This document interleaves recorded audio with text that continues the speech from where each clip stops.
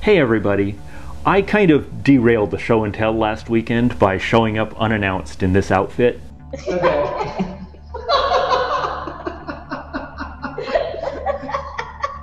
It got a lot of laughs and it also got a lot of questions. So I'm going to try to summarize a bit of what I've done here in case you're wanting to try the same idea for Halloween or other times of year like Burning Man or comic conventions. This was a mashup of a couple tutorials from the preceding weeks. The first was a voice changer using the Adafruit Wave Shield. We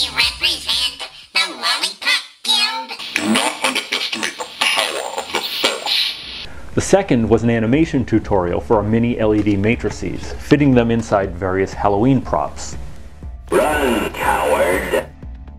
So the question was, could I combine the two and make a mask that had the LED face animation and also the voice changer, and then get the mouth to respond to my own voice?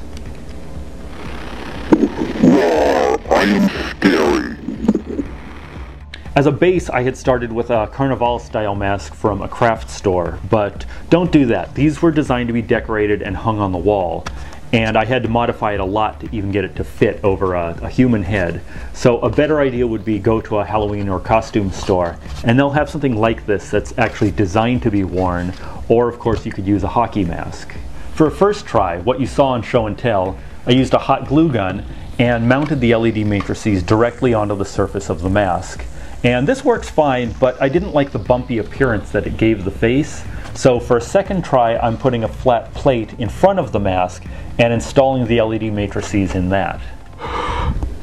There's a lot of moisture and breath, and that's going to wreak havoc with our electronics, which are right in front of the mouth. So a couple tricks I used there. For the microphone, I sealed it inside a tiny Ziploc bag using a rubber band, and that keeps out the breath and the spit and the yuck. And likewise, the LED matrices, there's some tiny solder pads on the back, and bits of moisture can bridge those and cause them confusion. So what I did there was use a hot glue gun and covered up those pads, and so far it's worked pretty good at keeping out the moisture. What you didn't see during show and tell is there were actually a lot of electronics strewn all over the desk. And so what I'll need to do before Halloween is fold all of that down into a belt pouch along with batteries. And an important bit of advice there is to use two battery packs, one specifically for the speaker amplifier and one for the Arduino and the other electronics. And the reason for that is explained in the voice changer tutorial, so check it out. The skin is what's called a morph suit or a second skin. It's basically a full body stocking that's popular with a lot of sports fans right now and they come in all the different team colors. I picked up the basic black because I just wanted a spooky silhouette shape. It looks like it should be opaque, but any bank robber will tell you you can actually see through very slightly. And it seemed to me that if light could get in, that we could pass light out just as well. And it turns out to work really good for this. So most of these electronics will be in a pouch in the back, but the voice needs to project forward.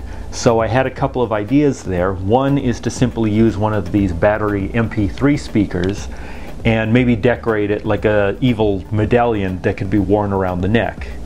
My other idea is to use our Class D audio amplifier and a couple of bare speakers and then create sort of a false rib cage. This is just a small test, but there's two layers here and I think there's enough space that I could conceal the speakers inside and then wear that over the chest and it's more consistent with the look of the suit. And then as a last step, you can accessorize. I thought the horns were kind of cool.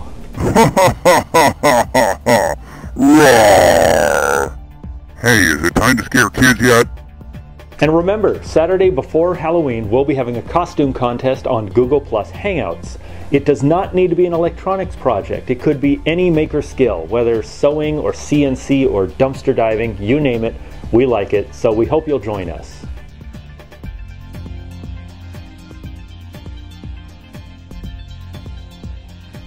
What? I'm a Unix demon.